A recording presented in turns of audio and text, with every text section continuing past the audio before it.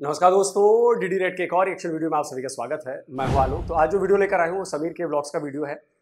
और इसका टाइटल है Pakistani Christian girl visited Goa India sharing experience तो अच्छी बात है, पाकिस्तान की जो क्रिश्चियन कम्युनिटी है, वो बड़ी अच्छी कम्युनिटी है। और वहाँ से एक जो हमारी बहन है, वो आई है गोवा। और वो यहाँ से घूम कर गई हैं अपना एक्सपीरियंस बता रही हैं। तो देखना बड़ा दिलचस्प होगा। चलिए देखते हैं। और मिशेल भाई क्रिश्चियन हैं गोवांस क्रिश्चियन हैं। कई लोग मेरे से अक्सर सवाल भी करते हैं कि यार कराची में गोवांस रहते हैं। तो गोवांस क्रिश्चियन हैं तो मिशेल थोड़ा सा अपने बारे में बताइए अपनी कम्युनिटी के बारे में बताइए। मैं गोहांस क्रिश्चियन हूँ जो 1947 में यहाँ पर आए थे। अच्छा। तो हमें गोहांस क्रिश्चियन बोला जाता है। कुछ लोग हमें गोवा वाले भी बोलते हैं। अच्छा। तो कुछ लोग गोवांस क्रिश्चियन भी बोलते हैं। कराची में ज़्यादा हैं या कहाँ पाकिस्तान में ज़्यादातर कहाँ हैं? कराची में है। अच्छा जी। कौन से एरिया में ज़्यादा सदर में सदर, सदर में। जी। ठीक है तो बाकी कुछ चीज़ें भी यहाँ की जानेंगे लेकिन मेन टॉपिक जो हमारा है गोवा के बारे में तो उसके बारे में लास्ट में इनसे कुछ यहाँ की मैं चीज़ें पूछूँगा कुछ फ़ेमस चर्चेस के बारे में भी पूछूँगा और भी जो चीज़ें जो है इनसे हम जो है वो पूछेंगे। तो मिशेल बताएँ कि आप जो है गोवा कैसे जाना हो क्यों जाना हुआ मतलब रीज़न क्या था जाने का?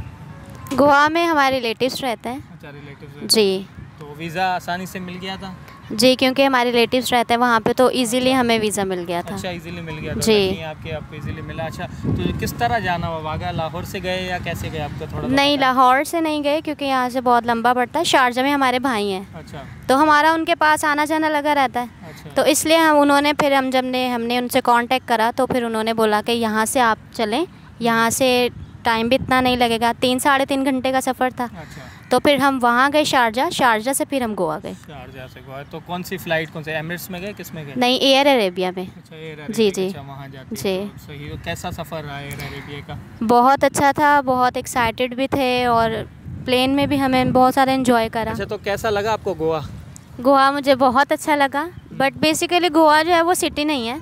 जाने से पहले मुझे भी ये लगता था कि जैसे गोवा एक सिटी है पर वो एक स्टेट है। तो उसमें सिटीज़ हैं जैसे पिंजिम हो गया और वास्कोटे गामा हो गया और मारगांव हो गया। पर ज़्यादा हमने जो स्टे करा है वो वास्को में करा है क्योंकि हमारे रिलेटिव वास्को में थे। जी। सही तो कैसा लगा वहाँ जो है ओवरऑल किस तरह का जितने भी ये सिटीज़ आप बता रही हैं इनमें कैसा लगा घूमना? और स्पेशली जहाँ तक मेरा ख्याल है बीचेस ही हैं तो कौन कौन से बीचेस पे आप गई?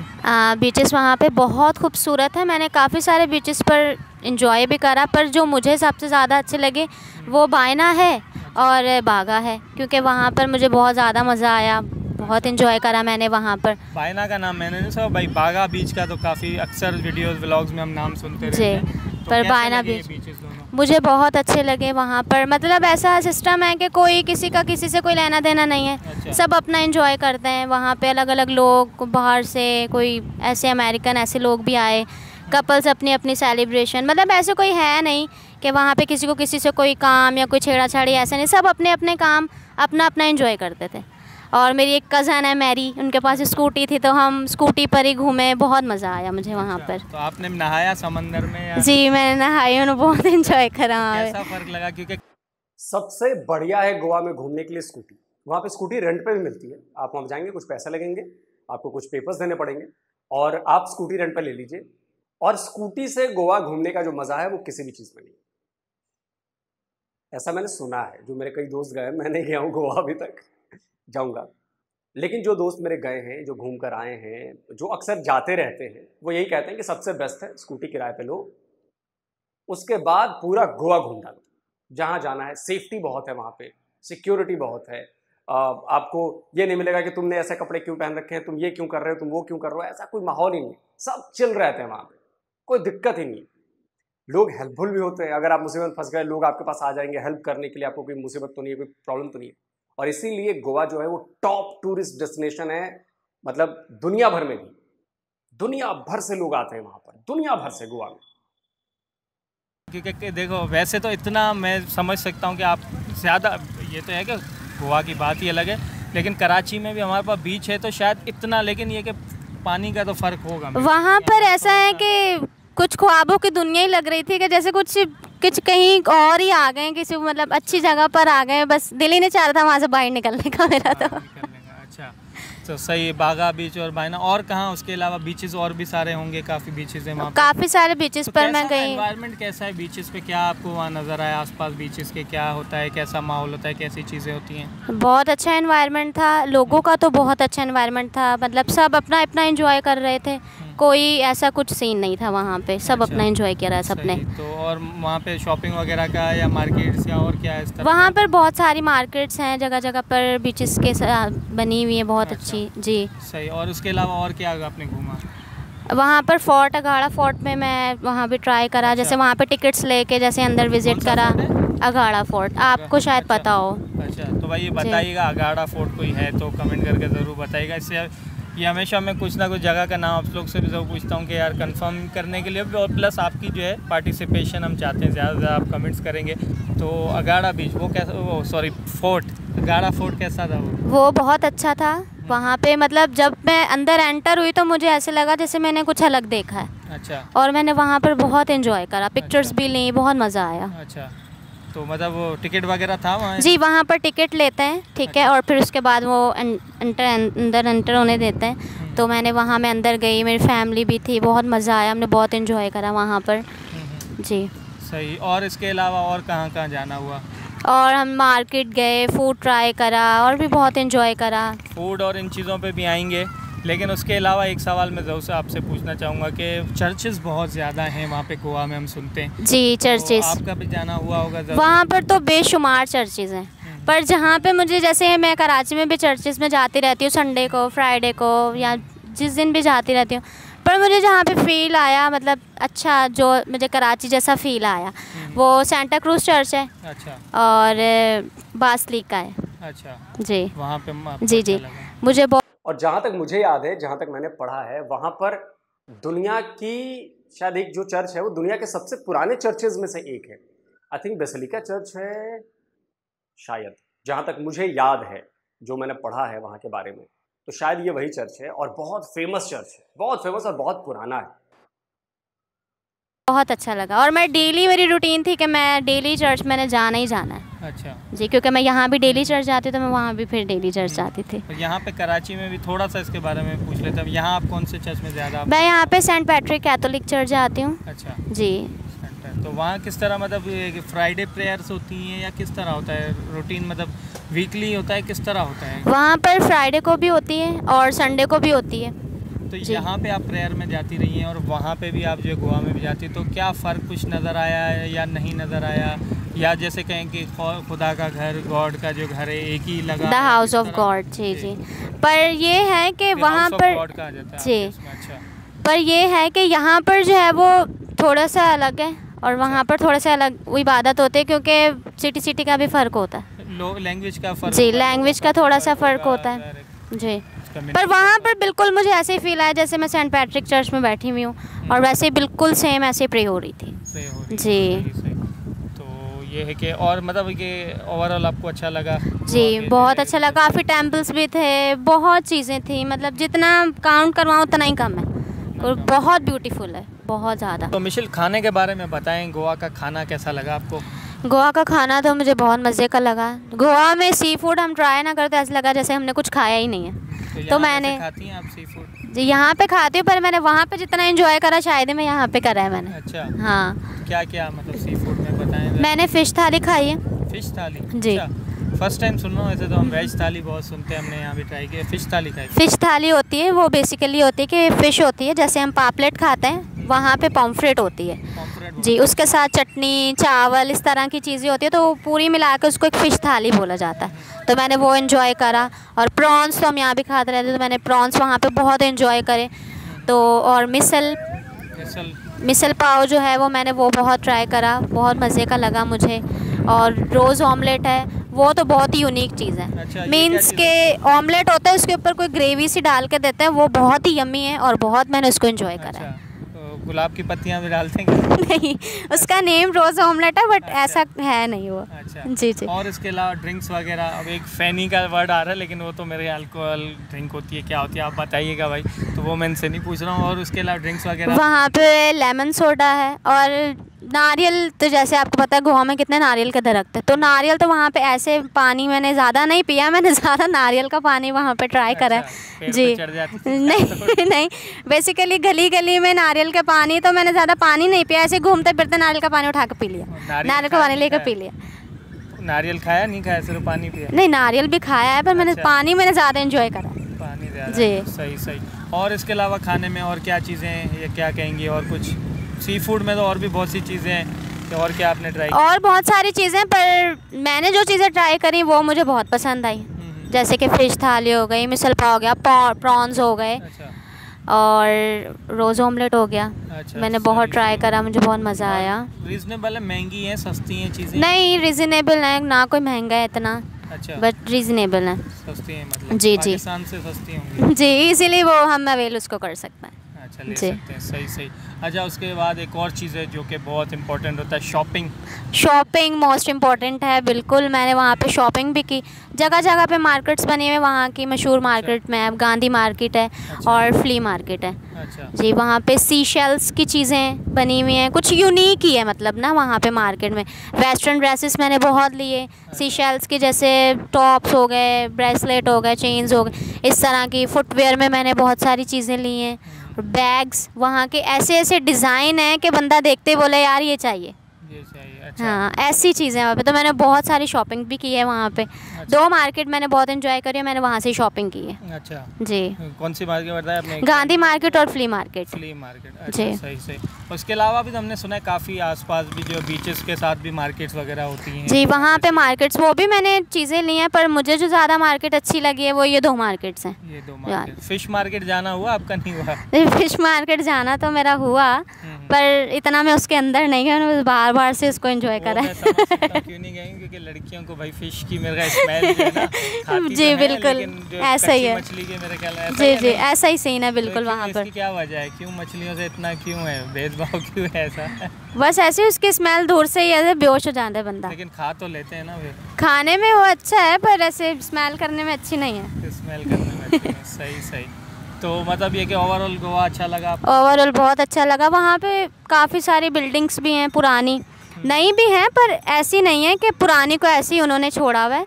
पुरानी भी बिल्कुल आज वैसी ही खड़ी हैं। मेंटेन किया जी बिल्कुल मेंटेन है। अच्छा। तो वो भी मैं गई हूँ वहाँ पे वो मैंने वो भी इंजॉय करा मैंने देखी हर चीज़। तो मुझे तो बहुत अच्छा लगा कि पुरानी को ऐसे ही नहीं छोड़ा हुआ पुरानी को मेंटेन करके रखा हुआ जी। जी, जी, ऐसे कर देते, जी। सही नहीं नहीं ये तो इंडिया में तो वैसे भी काफ़ी उनके पास उस तरह के जो है आर्किटेक्ट या उस तरह के जो लोग हैं जो उनको मेंटेन करने में आसानी होती है। यहाँ हमारे यहाँ हमने काफ़ी पुरानी ऐसी बिल्डिंगें भी देखी जिनको हम्म। अजीब सा एक वो ब्राउन कलर का चूना मिक्स करके क्या करके लगाते हैं जिससे वो बिल्डिंग और मतलब वो बेकार हो जाती है। हालाँकि इसकी प्रॉपर एक मेंटेनेंस होगी। खैर बहरहाल तो अच्छा तो उसके अलावा और मतलब ट्रांसपोर्ट के बारे में बताएँ वहाँ किस तरह है ट्रैवलिंग वगैरह क्या है? ट्रांसपोर्ट वहाँ पे बसेस चलती हैं ऑटो चलते हैं बट मैंने तो स्कूटी पे विज़िट करा है। अच्छा। तो वहाँ पे बाइक्स वगैरह पर भी लोग विज़िट करते हैं बाइक लेके ऐसे ही किराए पे। अच्छा। तो वहाँ पे विज़िट अच्छा, किया जाता है। जी रेंट अच्छा, पे मिलती हैं। तो बट वहाँ पे जाते हैं लोग। नहीं नहीं मेरी तो कज़न की स्कूटी थी तो मैंने उसी पे अच्छा। एंजॉय करा है। अच्छा उसके साथ। जी। आपने तो नहीं चलाई ना? नहीं मैंने नहीं चलाई उसी ने। काफ़ी लोग देख रहे हो बोले यार इनका चलाइए या क्या इनका लाइसेंस भी बना है नहीं बना नहीं कज़न ने चलाई है और मैंने एंजॉय करा। हाँ, लेकिन इतनी भी छोटी नहीं है ये कि मतलब आप बिल्कुल ही वो समझ रहे हो कि शायद के नहीं चलाई होगी लेकिन नहीं नहीं बाइक चलाई। चलाई पक्की बात है ना? जी। अच्छा, अच्छा। नहीं तो वैसे भी आप चला सकते नहीं ना, क्योंकि आप दूसरे देश के रहने वाले हैं, आपके पास इस देश का या इंटरनेशनल ड्राइविंग लाइसेंस नहीं है। आप इस देश में, किसी भी देश में, आप तभी चला सकते हैं जब या तो आपके पास वहाँ का लाइसेंस हो चलाने का, या आपके पास इंटरनेशनल ड्राइविंग लाइसेंस हो चलाने का। वरना अगर आपके, इन दोनों में से कोई नहीं है आपके पास तो आप गाड़ी नहीं चलाएँगे। आप चलाएँगे भी तो पकड़े जाएँगे तो बहुत हैवी फाइन है, बहुत हैवी फाइन है। तो लोगों के बारे में तो बताएँ, मेन चीज़ तो रह गई कि गोवा के लोग कैसे हैं गोवा के लोग बहुत अच्छे लोग हैं और मतलब किसी के साथ छेड़ा छाड़ी कुछ भी नहीं यहाँ वहाँ पे। मतलब अपने काम से काम रखने वाले कपल्स भी हों बॉयज़ हों गर्ल्स हों फुल टिकटॉक बन रही है हर चीज़ हो रही है। मतलब ऐसे बहुत अच्छे लोग हैं। तो नहीं है अभी वहाँ पे मेरे वो तो बैन हो चुका है एक अरसा हो गया नहीं ना चल रही है। टिकटॉक नहीं है बाकी यूट्यूब वगैरह या पर्सनली वो रील्स इंस्टाग्राम के रील्स जी का बहुत रील्स भी हैं वहाँ हाँ, पे वन बनाते होंगे लोग। हाँ, बाकी ये टिकटॉक का तो मेरे ख्याल में कर नहीं मैंने ऐसे देखा है मुझे यही नहीं था कि वो टिकटॉक ही बना रहे हो। कुछ और बना रहे हैं कॉमन वर्ड ये यूज़ होता है ना जी जी। किसी को वीडियो बनाते या कोई चीज़ देखते तो हम बोलते हैं टिकटॉक बना रहे हो। जी। मैं क्लियर इसलिए कर रहा हूँ बाद में कोई कमेंट करे यार हमारे यहाँ तो जो है टिकटॉक बैन है तो आप कैसे कह रहे हो? तो बेसिकली हमारे वर्ड यही यूज़ होता है। कोई भी आपको आम बंदा देखेगा ना एक जो मतलब काम छोटा सा करने वाला भी कोई तीन डब्बे वाला या ठेले वाला भी तो वो ये बोला यार टिकटॉक बना। टिकटॉक तो टिकटॉक एक वर्ड जो है ना कॉमन एक कोई यूज़ होता है। तो उस वजह से मैंने ऐसा ही है ना? जी जी ऐसा ही है बिल्कुल। नहीं पड़ती बाद में जो है ना जी। लोग जो अच्छा कई लोगों के कमेंट्स भी हैं लास्ट अभी कुछ वीडियोस पे पढ़ रहा था कुछ लोग कह रहे हैं यार ये फेक हैं या ये गए नहीं है या ये नहीं है। तो यार देखो हम जिनके लिए बना रहे हैं जिनको अप्रिशिएट करते हैं सब कुछ करते हैं बाकी कुछ हेटर्स हैं अब उनको अगर चीज़ ये चीज़ लग रही है तो हम कुछ उसको कुछ नहीं कह सकते। या हम ऐसा नहीं है कि किसी को भी हम फेक इस तरह या किसी को भी आप क्रिश्चियन है ठीक है? जी बिल्कुल। किसी को इस तरह थोड़ी कर सकते कि यार आ जाओ भाई कभी ये बन जाओ क्रिश्चियन मतलब खुद को बोलो या ऐसा ऐसा तो कोई नहीं करेगा। लेकिन बहरहाल ये हेटर्स के लिए हमें ज़्यादा हमें फ़र्क नहीं पड़ता। जो हमें प्यार करते हैं सपोर्ट करते हैं उनके लिए जो है हमारी वीडियो होती है और वो हमें हमेशा अप्रिशिएट करते हैं। जिसको जो है हम जो है हम दिल से जो है थैंक्स कहते हैं आप सबको। तो लास्ट में कुछ कहना चाहें जो है गोवा के बारे में और कुछ कहना चाहें जो वहाँ के लोग देख रहे हैं या ओवरऑल कुछ भी आप मैं ये कहूँगी कि मेरा गोवा का फ़र्स्ट एक्सपीरियंस था। मैं वहाँ गई और मैंने इतना मज़ा करा इतना मज़ा करा कि मेरा दिल ही नहीं करा था वहाँ से आने का। मैंने बहुत इन्जॉय करा। आज भी मैं वो सारी मेमोरीज़ याद करती हूँ तो मैं ऐसे लगता है मैं घुमाई बैठी हुई हूँ। वहीं बैठी जी। अच्छा सही। तो थोड़ा सा चलो अब ये चीज़ जो हम थोड़ा सा कराची में क्योंकि गोवान्स के बारे में भी लोग जानना चाहते हैं ना तो कहेंगे आप कमेंट्स करेंगे तो हम एक वीडियो इनके साथ सेपरेट एक बना लेंगे किसी दिन। ज़्यादा से ज़्यादा कमेंट्स करके आप बताएँ। लेकिन थोड़ा सा फिर भी इनसे पूछते हैं कि यहाँ पे कराची में स्पेशली क्या लाइफ है क्रिश्चियंस की क्या रूटीन बाकी तो हर बंदे की आम एक रूटीन होती है जॉब पर जाना, सब कुछ। लेकिन कम्युनिटी के हवाले से थोड़ा सा आप बताइए कि क्या एक्टिविटीज़ होती हैं फेस्टिवल्स के बारे में थोड़ा सा बताएँ, वो किस तरह सेलिब्रेट होते हैं उनके बारे में थोड़ी सी चीज़ें बताएँ। ज़ाहिर है आपकी कज़न्स ने भी वहाँ ज़रूर आपसे पूछा जी होगा जी बिल्कुल। पाकिस्तान में आप जो क्रिश्चियन की लाइफ कैसी है क्या है? तो आप थोड़ा सा हमारे देखने वालों को ज़रा बताएँ अपने बारे में। मैं ये बताऊँगी कि हमारे जो फ़ेमस फेस्टिवल है वो क्रिसमस है और ईस्टर है। तो और भी काफ़ी सारे फेस्टिवल्स है। पाम संडे हो गया गुड फ्राइडे हो गया। अच्छा, तो हम संडे क्या होता है? पाम संडे बेसिकली होता है खजूरों का त्यौहार होता है। अच्छा। तो उसमें खजूर की डालियाँ से हम अपनी अपनी गलियों को सजाते हैं अच्छा। और मतलब इबादत करते हैं। हम्म। तो वो पाम संडे कहलाता है। बहुत खुशी का दिन होता है हमारे लिए वो। जी। अच्छा और उसके अलावा दूसरा कौन सा आपने गुड फ्राइडे गुड फ्राइडे वो बहुत ज़्यादा हमारा जो है वो थोड़ा एवरी फ्राइडे को ही कहते हैं नहीं नहीं वो एक दिन होता है हमारा। मतलब रोज़ों के बाद जब हमारा आखिरी रोज़ा होता है मतलब चालीसवा रोज़ा होता है तो वो गुड फ्राइडे कहलाता है। मतलब फास्टिंग आप लोग जी, जी। हमें पता ही है लेकिन मैं देखने वाले वो समझेंगे वो मुस्लिम्स के रोज़े की बात तो नहीं करी। तो क्रिश्चियन में किस तरह होती है फास्टिंग कितने दिन होती है क्या होता है? हमारी फास्टिंग चालीस दिन की होती है। अच्छा, 40 जी और रात बारह से अगली शाम सात बजे हमारा रोज़ा खुलता है। खाना पीना बिल्कुल नहीं कुछ भी नहीं खाते हम लोग बिल्कुल इबादत में रहते हैं नहीं कुछ भी नहीं। अच्छा। जी। सही और मतलब बाकी रूटीन वर्क जो होता है वो रूटीन वाइज भी हमारा रोज़ा ऐसे ही होता है अगर कोई रखना चाहे तो। अच्छा। जी। तो मतलब जो रखना चाहे तो रख सकते हैं? जी रख सकते हैं बिल्कुल। फोर्टीन डेज़ चलता है। हम्म, चालीस दिन होता है। कब ये साल में कौन से टाइम में मतलब ये? ये हमारे क्रिसमस के बाद आते हैं। अच्छा, जी दो महीने बाद इस तरह से आते हैं। अच्छा मिशल ये बताइए कि आपका जो है थोड़ा सा मुझे एक्सेंट से थोड़ा सा उस लहजे से भी पता चला और मेरी वैसे भी नॉलेज में ये चीज़ है कि पंजाबी पाकिस्तान में क्रिश्चियंस काफ़ी बोलते हैं तो उसके बारे में थोड़ा सा बताएँ। पंजाबी बोलते हैं क्रिश्चियन पर पाकिस्तान में मतलब 80 परसेंट जो है वो पंजाबी बोली जा- जाएगी अच्छा क्योंकि क्रिश्चियन पंजाबी बोलते हैं। अच्छा। और 20 परसेंट मतलब इंग्लिश बोली जाती है। अच्छा जी, क्योंकि- कराची में कुछ मेरे ख्याल में ज़्यादा एरियाज़ में जो है इंग्लिश भी ज़्यादा जी ऐसा भी है जी जी अच्छा। बिल्कुल तो फिर ये कि आप लोग में हमारा तो पंजाबी भी आप जानती है जी पंजाबी भी मैं बोलती हूँ अच्छा। क्योंकि मेरी मम्मी हमें शुरू से पंजाबी सिखाए तो इसलिए हम पंजाबी बोलते हैं सिखाई, जी तो थोड़ी जी पंजाबी मैनू भी आती है तो क्या बोलेंगे पंजाबी में पूछो अच्छा ਤੁਹਾਡੀ जो रिश्तेदार ने गोवा च तो उन्होंने पंजाबी बोल देते हैं या क- केड़ी लैंग्वेज नहीं वो पंजाबी नहीं बोलते थे वो कौनकनी ज़ुबान थी वो अच्छा। वो बोलते थे जी जी अच्छा और भी लोग वहाँ पे हिंदी बोलते थे पर उनको में जो मेरे कज़न हैं उनको कौनकनी आती थी। वो तो कौन कौनकनी कौनकनी ज़ुबान बोलते थे जी। हिंदी तो आती होगी जी, जी, हिंदी तो मोस्टली आती थी। अच्छा तो आपने सीखी नहीं सीखी उनसे कौन की नहीं? नहीं मैंने सीखी नहीं क्योंकि अच्छा। मुझे आती नहीं। मैं बस इंजॉयमेंट में ही लगी रही हूँ मैंने बस। पंजाबी सिखाई उनको नहीं सिखाई? नहीं मैंने सिखाई है। अच्छा। मैंने उनको चलो सिखाई। अब लास्ट में थोड़ा सा पंजाबी में आप कुछ बोल दो कि जो भी देखने वाले हैं उनको क्या कहोगे? पंजाबी में जो है थोड़ा सा कुछ बोले। या हमारे चैनल के लिए बोल दें कि भाई इनके चैनल को सब्सक्राइब कर लें या कुछ भी आप बोलना चाहें। मैं यही कहूँगी कि वीडियो अच्छी लगी तो अनदर चैनल को सब्सक्राइब करो लाइक करो हम्म। ठीक है? और? और uh, नेक्स्ट वीडियो नहीं देखना इसके बाद क्योंकि इसमें मैं नहीं होंगी है ना? नेक्स्ट वीडियो देखियो मैं आवाँगी लाजमी। तो भाई बहरहाल बताइएगा कि आपको ये वीडियो कैसी चलिए दोस्तों वीडियो खत्म हो गया और बड़ी प्यारी बातें की इन्होंने बड़ी अच्छी बातें की। मुझे लगता है कि समीर भाई को कुछ सवाल पूछने चाहिए थे, कुछ ऐसे सवाल पूछने चाहिए थे। थोड़े से टफ हैं, बट पूछने चाहिए थे। जैसे एक सवाल अगर मैं होता उनकी जगह तो मैं पूछता कि अगर आप पाकिस्तान में क्रिश्चियन कम्युनिटी की, के हालात को देखती हैं और भारत में क्रिश्चियन कम्युनिटी के हालात को आपने देखा तो दोनों में क्या फ़र्क पाया? या पाकिस्तान में जो माइनॉरिटीज़ के साथ किया जाता है, क्या वैसा ही आपको फील हुआ कि भारत में भी माइनॉरिटीज़ के साथ किया जाता है? पाकिस्तान में बहुत कुछ ये किया जाता है कि भाई मुसलमानों के साथ भारत में बहुत जुल्म होता है, ऐसा होता है, वैसा होता है। तो क्या आपने वहाँ पर ये कुछ महसूस किया कि मुसलमानों के साथ कुछ ऐसा होता है कि नहीं होता है क्योंकि ये ये सब सवाल पूछने बहुत ज़रूरी है। इससे आपको क्लैरिटी मिलती है। और हम सबने ये देखा है कि क्रिश्चियन कम्युनिटी के साथ पाकिस्तान में क्या होता है। मैं ये नहीं कहता कि हंड्रेड परसेंट चीज़ें हमारे यहाँ भी हर कम्युनिटी के साथ सही होती है। नहीं होती लेकिन हमने उनको रोका है। हमने उनको कम कर दिया है। प्रॉब्लम्स हमारे यहाँ भी होती हैं।